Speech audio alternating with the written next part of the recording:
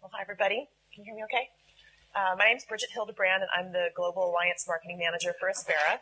Uh, I also have with me over here Per Hansen, who's our Senior uh, Sales Engineer here in the UK, and I brought him along to make sure the marketing people keep, keep honest.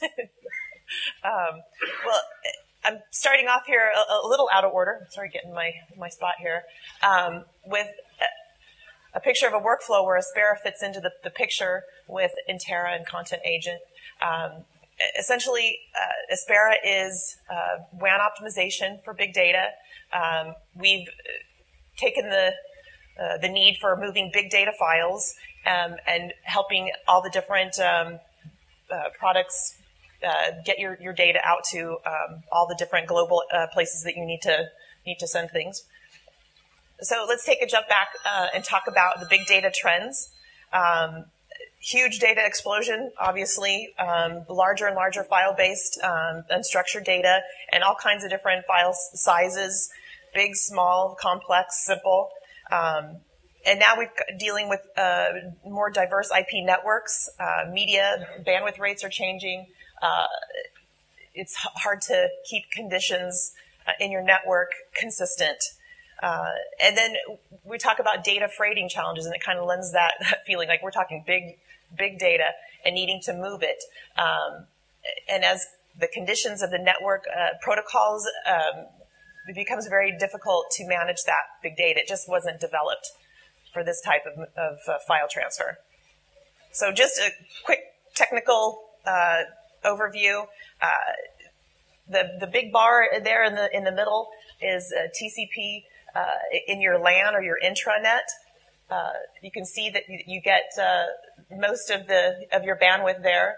But the way that TCP is designed, um, you have packet loss and delay the further out you go. So once you leave your LAN and you're you're sending data files over the WAN over the internet, the the farther you get away, the bigger the file, the harder it is to uh, keep it whole and send it fast.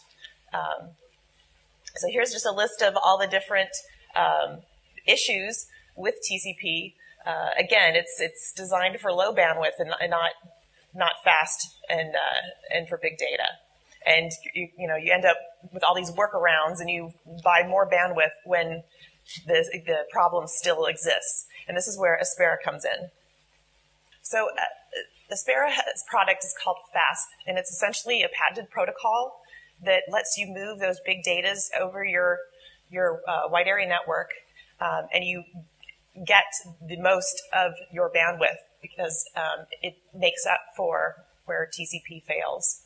Um, so obviously you can see from the from the graph here that with Aspera you get your full bandwidth usage uh, from from the uh, starting with the LAN all the way out through this last bar, which is satellite. There's really low overhead to it, and it makes up for um, all the congestion problems that are inherent in the technology.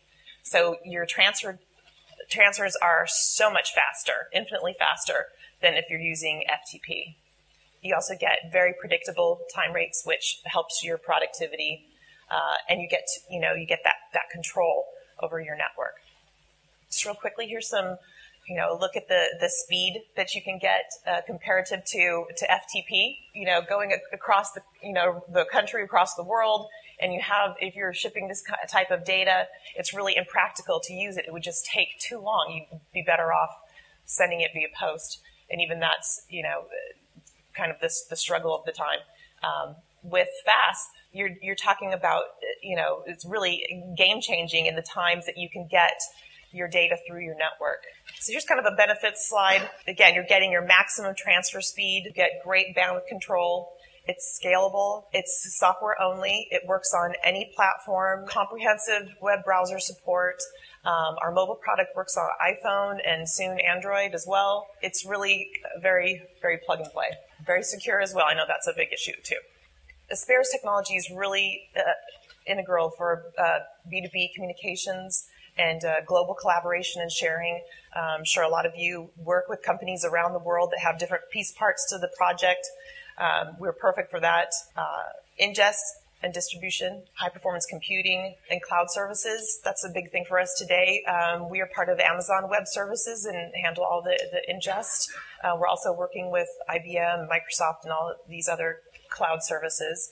Um, so something that you want to take advantage of as far as fully integrated there. Synchronization and data archive, disaster recovery. We're all part of this. So here's just kind of a, a, a map of how we fit in. This is actually put together um, in relation to um, the movie Avatar. Uh, James Cameron's studio used us to uh, help transfer the files between uh, the digital productions in in, uh, in New Zealand back and forth to to Hollywood, then out in the post production world throughout the throughout the world. I, I just find this this very in, impactful uh, in the way that we can help make the world so much more uh, collaborative. So b- back to this slide. Um, this is a workflow example from our product orchestrator. So you can see where we, you know, your data comes in from the WAN. We move the files through your firewall and then to Interra. That's Baton pro- product for QC. Further on through to Content Agent, transcoding. And then and through the end, you can bring it back to, you know, storage opportunity either in the cloud or on your, on your own storage platforms uh, a full API or, or any, if you have an API, we can plug in to Orchestrator. And I know this is quite an eye chart, but we are really like like Baton. We are with um, lots of the you know major studios, major post production facilities, um, cloud computing facilities use Aspera to move their very large files. So uh, I leave you with um, you know it's very predictable. It's very fast and um, very secure. so if you have any questions about um, Aspera's transport technology, please feel free to talk to me or Per, and um, we'll wrap it up there. Mm-hmm. Cool, thank you. Um, uh, there's a whole business element to this as well. We're obviously talking about moving files, um, you know, and managing metadata. These these elements. Our experience of these installations um, also come very much to a business level. So there's always a lot more detail to research with these products.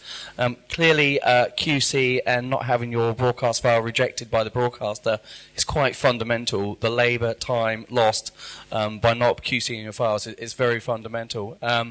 And you know, a big project we're doing in the states at the moment with DG, um, where we're delivering um, broadcast files. Um, they actually use Baton as um, their QC test for all the files coming in. And the beauty is we're able to take that template template from their Baton and bring it out to the production companies or the post houses, so we know that we're doing a full uh, QC pathway exactly as it's going on there. So that's a fantastic time saver. And the beauty is it's automated. You know, we only have to pick up that file when there's an error. Um, certainly uh, with Aspera, um, the, the, key here is um, we, we, we, very easily justify investment in Aspera purely on courier cost. Um, you'll be surprised how quickly your return comes back on those things. So the idea is, oh, invest in this technology, it's complicated. But I mean, I the idea of copying your media on shoot to a Firewire drive giving it to a runner because you don't trust a courier to sit on an airplane to bring it over and then copying it back in. Anyone done a USB 2 copy or Firewire 400 copy into your SAN of your three terabytes of information on your drive only to find the drive failed somewhere? Well, it very quickly becomes having a predictable um, transport to actually deliver this um, remotely and reliably is a big cost saving very quickly. Cool. So this is we're coming to the end um, of things. We've got the opportunity for questions. Um, the idea is we obviously have an exhibit downstairs where obviously Aspera and Interra have a stand. They obviously have their product management team as well to answer any questions down there. Are there any questions people would like to raise at this moment in time?